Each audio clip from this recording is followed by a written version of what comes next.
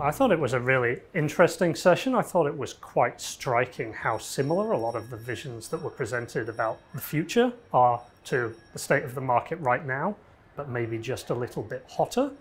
Um, I think it's possible that there will be quite profound changes that happen in that time, but the nature of change is that it's the unexpected things that make the biggest difference. And so knowing what those are going to be ahead of time is, is pretty much impossible.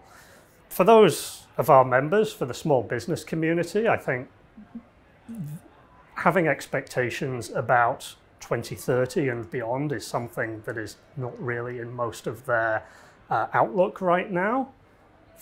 20% of small businesses fail every year. Most of them do not have the luxury of looking out a decade or more into the future. It's what's happening on the immediate horizon that is what they care about.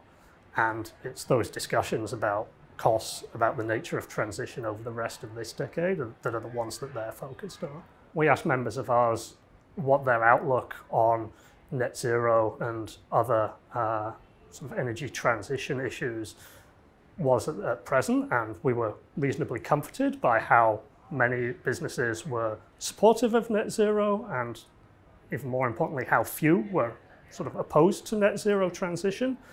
But I think what was striking was that despite that level of support, very few businesses actually understood what the net, net zero transition would mean for them within their own business.